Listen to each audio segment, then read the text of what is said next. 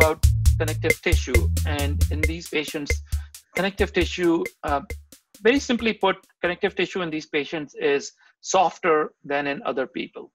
Um, it's not a disease. It's not. It's just a form of the human body. Just like you have tall people, short people, black people, white people. They all have their own set of medical conditions.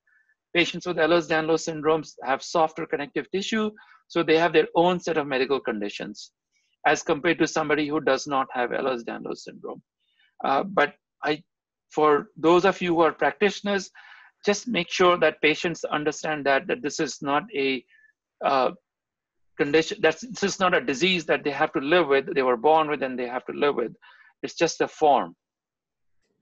Um, it's it's a it's a it's actually a, a, far more complex condition that we initially thought it to be. Um, at first we had thought it is just oh it's just a joint issue. These patients have um, very hypermobile joints and that's all it is. But over the last decade we've come to realize that it is a lot more than that. And these are the things that you'll see in, excuse me, in patients with Ehlers-Danlos syndrome, uh, they may have an autoimmune dysfunction. They can have craniocervical instability, joint instability, uh, something called POTS or postural orthostatic tachycardia syndrome. Uh, they can have a tethered cord syndrome. This, their spinal cords are tethered. They can have mast cell activation syndrome. And I'll kind of briefly touch on some of the more important ones. Mast cell activation syndrome is, uh, is a growing uh, issue right now. Patients are beginning to develop sensitivities to different chemicals, foods, drugs, all sorts of issues. Um, their immune system goes is going it goes haywire. Uh, they have abdominal pain, and then they have Chiari malformation, which is essentially herniation of the of the brain through the foramen magnum or the hole in the skull.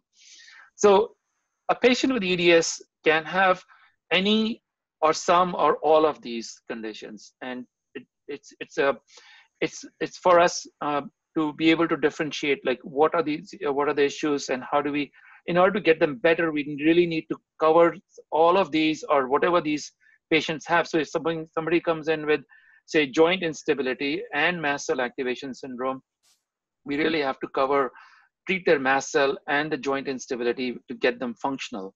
And the idea behind treatment of pain, I just want to make mention is, is to, is it's not as much as bringing the pain down. It's about being functional. Um, I know for sure that if I close my eyes and think of all the body parts that hurt, I'll probably come up with 20 of them. But that didn't stop me from going to work this morning. And so I'm functional. But the day when I when this pain or any one of these pains becomes so bad that I can't function, that's when I start to worry and I need to, we need to fix that. So I call this being more functional rather than worrying about is your pain scale, you know, zero to 10 or is it five? It, that makes no sense to me and it really doesn't. I mean, I could, there are people out there who have nine of 10 pain are still functional and then there are people who have four out of 10 pain and just can't function. Uh, it's not because they are these people with four or 10 patients, a pain are, are, are wimpy. It's because it's their grading is different. They don't understand. I don't know what 10 or 10 pain means. Um, so that's, that's the way to look at it is to, so what I do is I don't ask them their number. I say like, um, there, has it affected your functioning and how much has it affected your functioning? And that's my, my goal or my criteria for finding out how badly they're affected. Uh, so in EDS, there are three things to know. Uh, like I said, it's not a disease. Uh, they have soft connective tissues. So everything in the human body is connected. So you have the muscles, ligaments, skin, bones, joints, they're all connected to each other. And they're all con- the tissue that connects them is called connective tissue, obviously, because it connects everything. So connective tissue in these patients is softer, it's more elastic. Um, they have poor joint position sense, or also known as proprioception. Um, and that's something that you will, you, these, it's not particular to just EDS. Uh, toddlers have it, they have not yet developed their joint position sense, so they tend to fall as they learn how to walk. The elderly, they tend to uh, lose their joint position sense. That's one of the reasons why they fall a lot is because they are not, they're not, and I'll get into proprioception into greater detail, but it's a, it's a normal physiological phenomenon that happens. Uh, patients who have got joint uh, replacement surgeries, um, they don't have joint great joint position sense.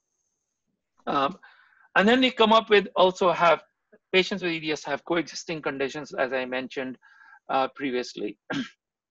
so how common or how rare is this condition? We don't really know for sure. And the reason we don't know is because we are missing these diagnoses.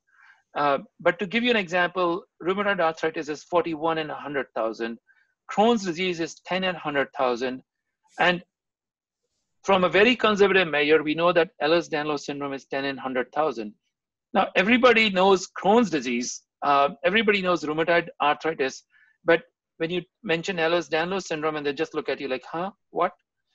So we think the presumed frequency is about 1% in the general population. Uh, that number is way lower than what, what we really think it is. Uh, but we haven't been able to do it we haven't we don't have accurate statistics because we are missing these diagnoses so for those who are out there in practice who are treating patients um, i can assure you that you have already seen patients with eds and you are definitely going to see patients with eds and i'm going to teach you today how to diagnose these people how to find out if they have it or not so moving on to types of eds um, there are 13 subtypes of EDS, and I'm not going to, most of them are all rare um, types of EDS. They, uh, the common ones are classic EDS, um, the classical type EDS, um, that's written as small c, capital EDS. And then there's the hypermobile or the hypermobility EDS, which is uh, the commonest kind. and then you have the vascular EDS, which is written as a small v EDS. And then you have uh, another 10 different subtypes, which are extremely rare. I mean, when I say rare, they're as rare as like seeing uh, seven patients, seven people in the entire world, uh, as rare as that.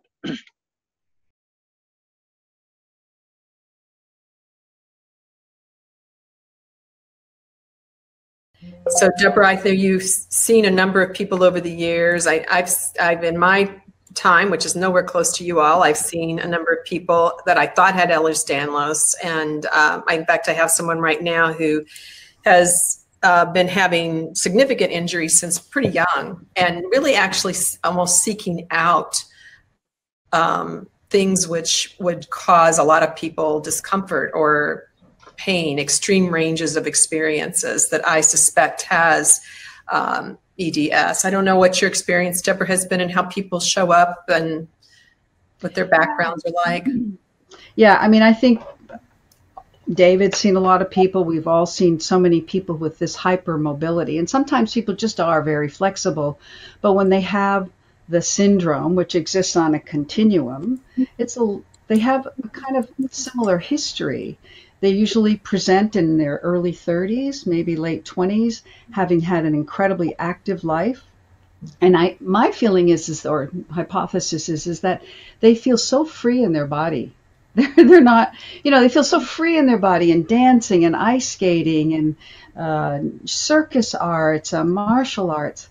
And then then they start getting injured. Funny little injuries, right? Their knee dislocates, they tear an ACL, their shoulder is injured, their finger joints, and then they go to doctor after doctor and many doctors it was such a breath of fresh air to hear dr chopra talk about it so uh, comprehensively about whole person but they go to many doctors who then just think they're kind of crazy. They try physical therapists. They're not given appropriate things to do. And then they get more injured and more injured and more and more isolated. And then they come to us. and I think it's a it's so much easier to work with people who are stiff and get them to kind of move a little bit than to get people who are so flexible in how to organize and how to work with the initiation of movement so you get that stabilization of the joints. Uh, that's been my uh, main experience is that this this history when people like start telling you all of these things are happening I had this woman come recently And I called up her doctor and I said, you know, I think she has Ehlers-Danlos. Like that's the reason all this has been happening to her. And he said, really? I, I only saw one person like that in my fellow, in my uh, internship. You know, I didn't think that was a real thing. So there's not a lot, and there's no diagnostic test that you can take a blood sample or an X-ray. You know, it's all on the clinical story where you need time to listen, which we have.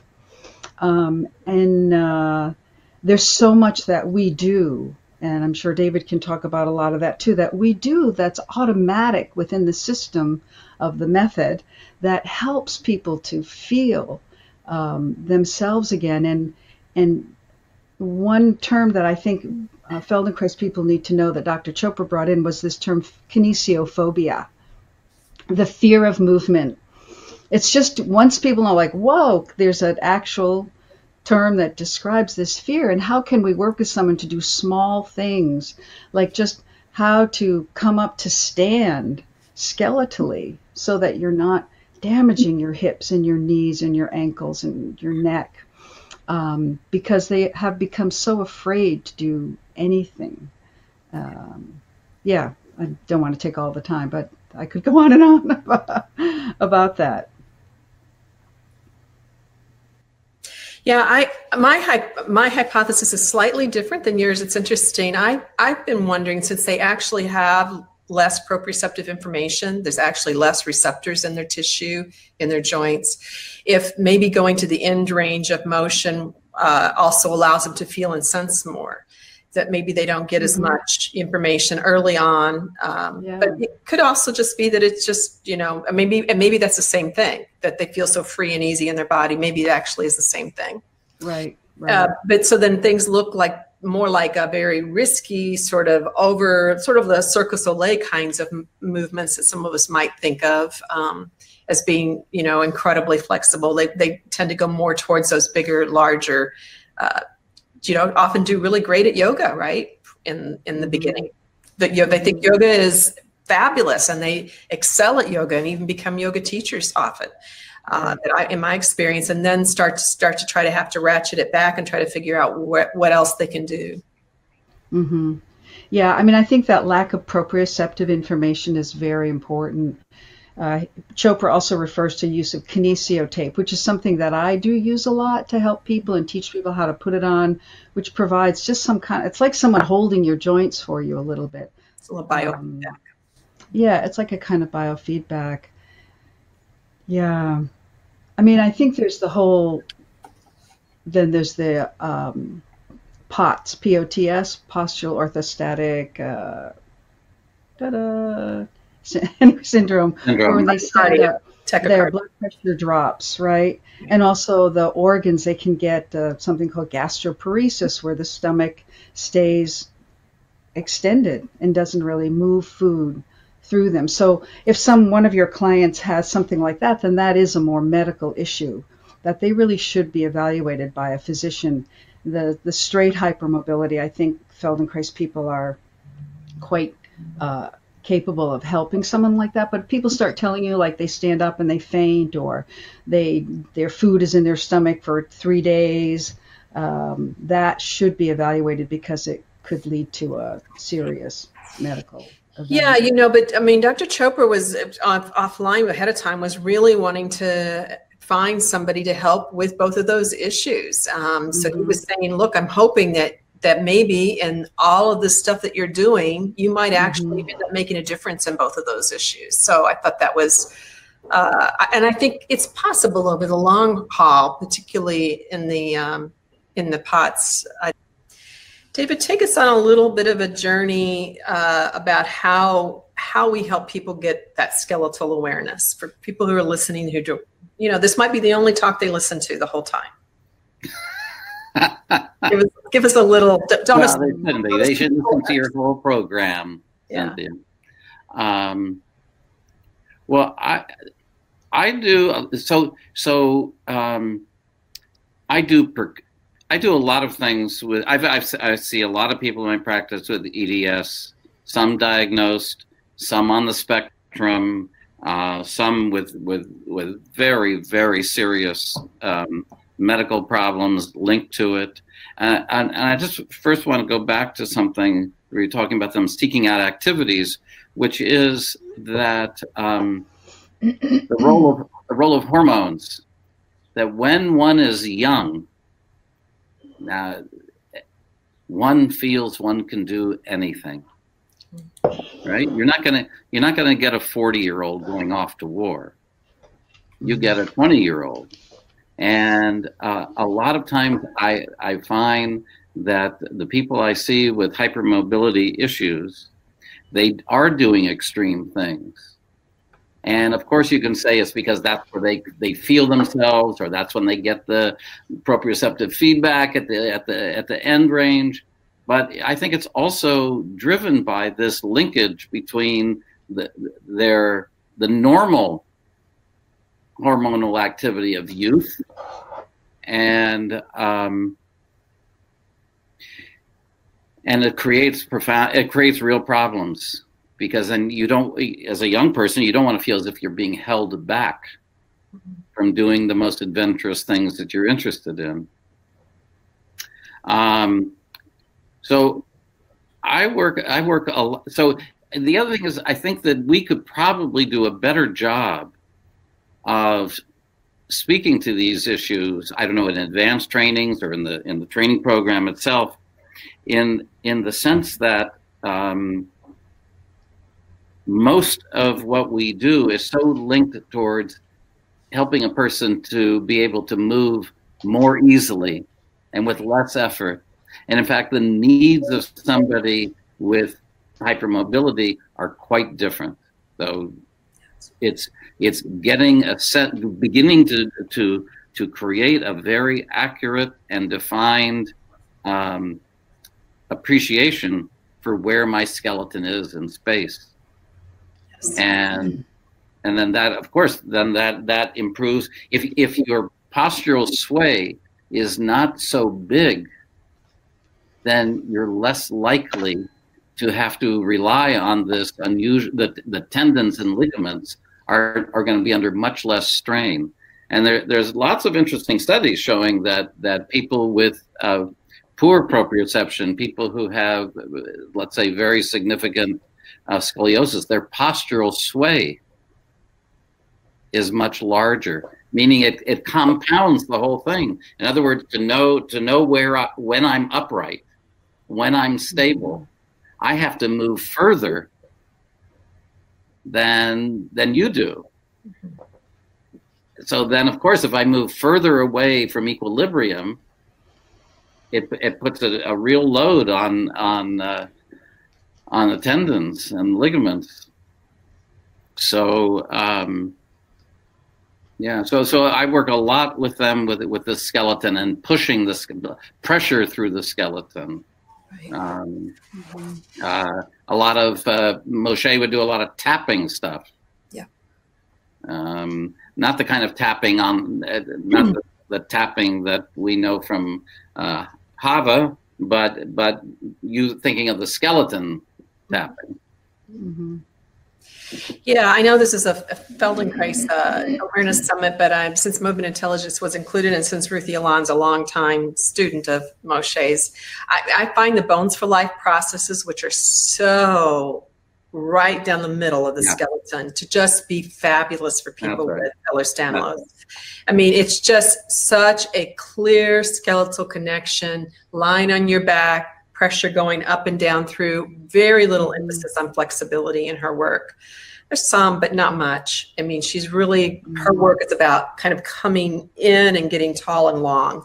And so it's a kind of uh, self compression uh, containment work. Um, so I think that, uh, I mean, I think that the, all those elements can be in Feldenkrais. Um, uh, oh, but the Feldenkrais oh, yeah. body is huge, right? It's just huge, right. and so and maybe culturally, we also love flexibility. I mean, we really do uh, kind of love flexibility. And, and of course, we talk about the importance of flexibility in all ways for a human being. Uh, but in the Feldenkrais work, but um, you'd have to you have to work a little bit harder to hone and pull out uh, the Feldenkrais components for somebody with EDS. I guess is my my impression. You have to think about it a little more. Yeah, that exactly. You you can't go by Mhm. rote. hmm That's right. And you have to think about percussion and Mhm. pressure in different ways. You know, it's as if the, the skeleton is the conduit of the the percussive instruments in the orchestra. You know, it's it, and um, and I think that that notion of percussion and pressure is extremely primitive. I think that the Mhm. the simplest of the the skeleton evolved probably right from some the beginning of a some exoskeleton of having to not just keep the system together but but putting applying pressure against uh, the ground Mhm. uh, or against the water or against the mud um, so I, I I go I go in my thinking I go back to those ideas